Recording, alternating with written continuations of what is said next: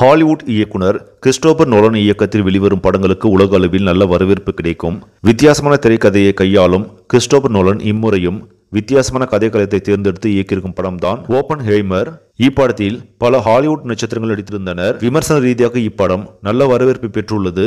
அதேபோல் வசூலிலும் பட்டியை கிளப்பி வருகிறது. உலக அளவில் நல்ல வசூலை ஈட்டி வரும் ஓபன் ஏமர் திரைப்படம் இந்தியாவில் மட்டுமே மூன்று நாட்கள் முடிவில் கிட்டத்தட்ட நாற்பது கோடிக்கு மேலாக வசூலித்திருப்பதாக பாக்ஸ் ஆபீஸ் வட்டாரங்கள் தெரிவிக்கின்றன. இதுவே இப்படத்திற்கு இந்தியாவில் கிடைத்துள்ள நல்ல வரவேற்பு என்கிறார்கள். அது மட்டுமல்லாமல் வரும் நாட்களிலும் வசூலை குவிக்கும் என்று எதிர்பார்க்கப்படுகிறது.